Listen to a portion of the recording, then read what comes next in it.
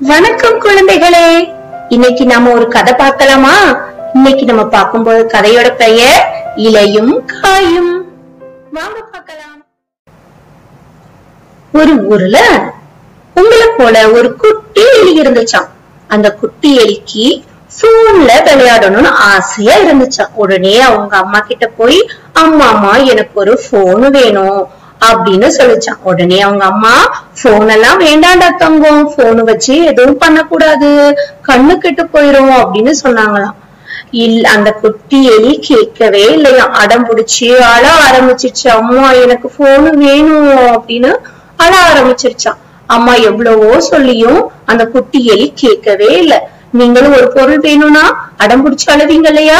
அதே போல இந்த குட்டி எலியும் அடம் பிடிச்சு அழுகுது. எனக்கு போனு கண்டிப்பா வேணும்னு சொல்லிட்டு.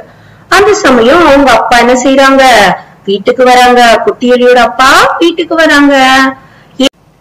வீட்டுக்குள்ள அப்பா எலி வந்த உடனே குட்டி எலி அழுகிறத பார்த்து ஏன் நீ செல்ல குட்டி அழுகுதுன்னு கேட்டுச்சான் உடனே குட்டி எலி எனக்கு அம்மா போன் வாங்கி தர மாட்டேங்கிறாங்கப்பா.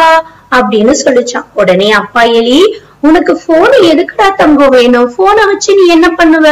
அப்படின்னு அப்பா எலி கேட்டுச்சான். உடனே குட்டி எலி அத வச்சு நான் விளையாடுவேன். அப்படின்னு சொல்லிச்சான். உடனே அப்பா எலி நீ விளையாடத்தானே செய்யணும்? வா என் கூட உனக்கு நான் நிறைய விளையாட்டு சொல்லி தரேன். அப்படின்னு சொல்லிட்டு ஒரு பசுமையான மரம் செடி எல்லாம் இருக்க இடத்துக்கு கூட்டிட்டு போச்சான். அங்க இருந்த பூவரச மர இலையெல்லாம் கீழே விழுந்து கிடந்துதான் உடனே அப்பா எலி அந்த பூவரச இலையை எடுத்து ஒரு பிப்பி செஞ்சு கொடுத்தாங்களாம் பிப்பில இருந்து சத்தம் வருத கேட்ட உடனே இந்த குட்டி எலிக்கு ஒரே சந்தோஷம். ரொம்ப ஹாப்பியா பிப்பி ஊதி விளையாட ஆரம்பிச்சிருச்சு. உங்களுக்கும் பிப்பி உத பிடிக்கும் தானே. அதே போல இந்த குட்டி எலியும் ரொம்ப ஆசையா அந்த பிப்பிய ஊதி விளையாண்டுச்சான் அப்புறம் அப்பா அந்த மரத்தடியில இருந்து விழுந்து கிடந்த அந்த காய்களை எடுத்து பம்பரம் சுட்டி காட்டினாங்களாம். பூவரசம் காய் பாக்குறதுக்கு பம்பரம் போல இருக்கும். அதனால அந்த காய வச்சு குட்டி எலியும் அழகா பம்பரம் சுற்றி விளையாட ஆரம்பிச்சிருச்சான் பம்பரக்காய சுற்றி விளையாட பார்க்க பார்க்க குட்டி எலிக்கு ஒரே குஷி ஆயிடுச்சு நீங்களும் பம்பரம் சுற்றி விளையாடுவீங்க தானே? அது போல குட்டி எலியும் பம்பரம் சுற்றி ஜாலியா விளையாட ஆரம்பிச்சிருச்சு. இப்படி விளையாண்டுட்டு இருக்கும் போது அவங்க அப்பா என்ன பண்ணாங்க? குட்டி எலிக்கு ஒரு வண்டி செஞ்சு கொடுத்தாங்க. அந்த வண்டி பார்க்க அவ்வளவு அழகா இருந்துச்சு. அந்த வண்டிக்கு எதால செஞ்சது தெரியுமா? தேங்காய் மூடி அங்க இருந்த செடி கொடிகள் எல்லாம் எடுத்து அப்பா எலி இந்த அழகான வண்டிய செஞ்சு குட்டி எலிக்கு கொடுத்திருக்காங்க. உடனே குட்டி எலி அதுல ஏறி சவாரி செஞ்சு ஜம்முன்னு உட்கார்ந்துகிட்டு அப்பா எலி அந்த வண்டியை இழுக்க இது ஜாலியா அது மேல சவாரி போச்சான் உங்களுக்கு இது போல வண்டியில போகணும்னு ஆசையா இருக்கா?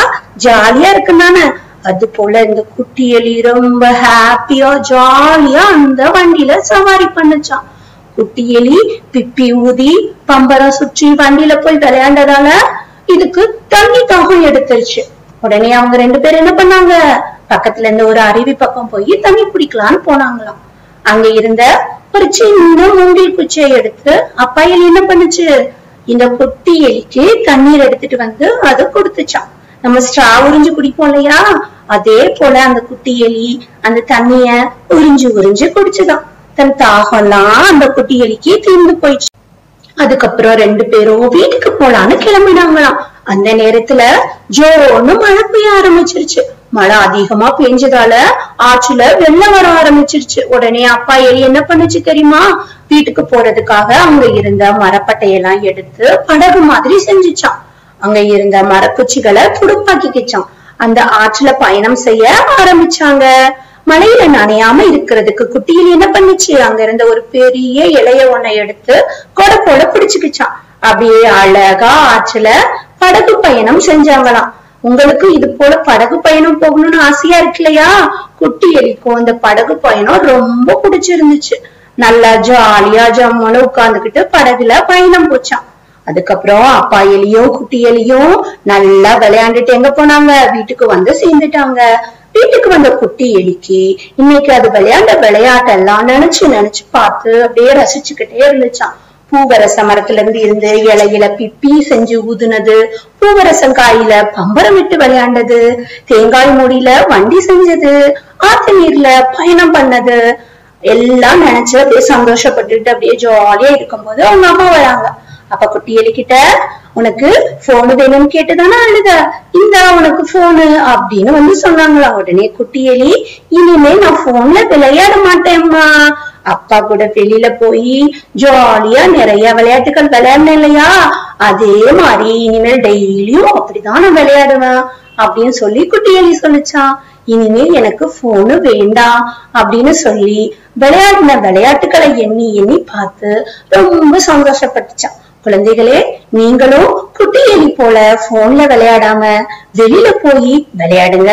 அது உடலுக்கும் மனதுக்கும் ரொம்ப சந்தோஷமா இருக்கும். இந்த மாதிரியான விளையாட்டுகளை உங்க அப்பா கூடயும் அம்மா கூடயும் விளையாடுங்க. உங்களுக்கு இந்த கதை ரொம்ப பிடிச்சிருந்துச்சா? நன்றி குழந்தைகளே.